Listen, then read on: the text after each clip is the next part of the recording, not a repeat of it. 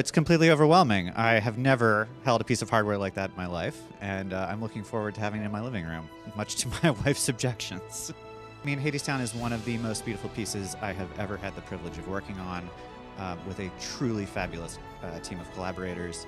Um, and I've been lucky enough to be involved in it since 2016.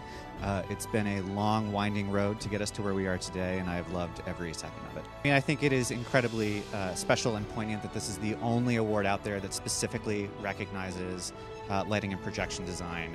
Um, and in a time when designers are fighting for recognition, when our uh, our names uh, sort of disappear from reviews, to get that sort of um, to get us back into the press, back into the, the eye of the both the audience and the critical establishment is very important.